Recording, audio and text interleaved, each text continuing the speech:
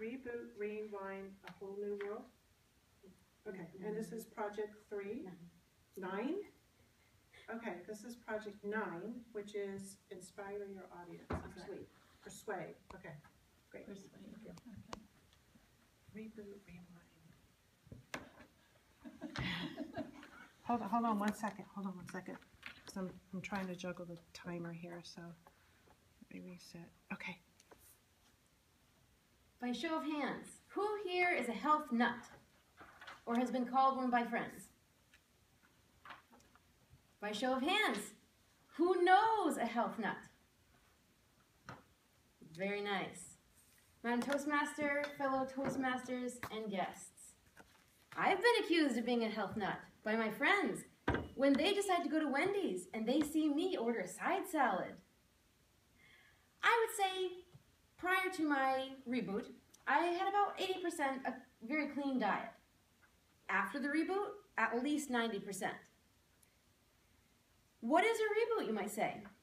Who here has ever heard of the documentary Fat, Sick, and Nearly Dead? Glad to hear, two people. I'll tell you a bit about it. This man, Joe Cross from Australia, he was a wee bit fat, quite sick, and some might say nearly dead. He had the skin condition that was an autoimmune disorder that caused him to have rashes, and he needed to be on prednisone, which some of you may know, mm, pretty heavy duty drug. And he ate kind of whatever he wanted. At one point in the video, he goes into a pizza shop and he says that he would have two of those, not two slices, two whole pizzas. Now, this guy wasn't that big, but his stomach must have been quite stretched out. So he decides to come to the US and for 60 days consume nothing but juice made out of vegetables and fruit in the proportion of 80% vegetables and 20% fruit. The fruit kind of just covers over the vegetable taste, gives it a little bit of sweetness, but makes it palatable. And as some might know, if you take out the fiber, the sugar would elevate if you had a pure fruit juice. So having the vegetables in there gives you all kinds of nutrients, helps your body recharge, rejuvenate. So not only does he lose weight, I mean that's kind of expected. He's kind of, you know, he's on a juice fast, which actually, now that I just think of it, it took him through Thanksgiving. He held up a green juice and said, "This is my Thanksgiving meal." So it's very appropriate for this time. But he lost pretty much all the weight he needed to lose. But more importantly, he got off his medication, this heavy duty medication that he had been on for years. And his skin condition cleared up. He began exercising and he was healthy. So they now run reboots that are guided by a nutritionist. Actually, the nutritionist I had for mine was in the movie, which was very exciting. It felt like we were dealing with a celebrity. So I want to tell you some of the benefits that I've gotten from doing this reboot. Energy is one. I still have sleepy days, sure, but the amount of energy and clarity that has come is significant. Now, I always liked vegetables. I know some people are kind of wishy-washy. I thought you needed olive oil or some kind of fat to make them okay.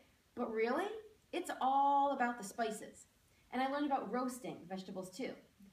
I used to just see them in the freezer and you put them in the microwave, big whoop, kind of plain, whatever. Nothing terrible, but nothing great. But if you get the right spice combination, it is deliciousness.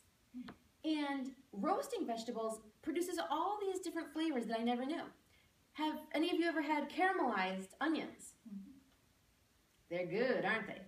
I don't care for raw onions so much, but caramelized, it, it just changes it somehow.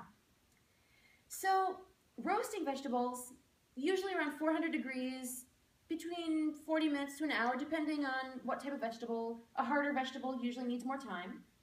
You can use foil to wrap it in, or you can have it bare, depending. I like to use a convection oven, that helps things. But I just, I cannot tell you how wonderful it has been to learn about these new vegetables. Now, portobello mushrooms, perhaps you've seen at the restaurant as an appetizer. They're delicious. That, that's the only way I knew how to have portobellos. You know, stuffed with seafood, with some cream sauce. Real healthy, but real tasty. Turns out, vegans and vegetarians love portobellos because they make a great meat substitute in a burger. Yeah, yeah, you know, for if you gotta get rid of your meat, that's a guess okay.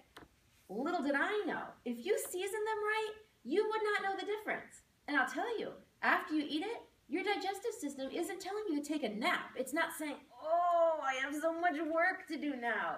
It's saying, ah, that, that feels rather, rather pleasant. Thank you. So get some portobellos, get some vegetables, season them, roast them, and you will experience a whole new world, new sensations for your taste buds. Roast those vegetables.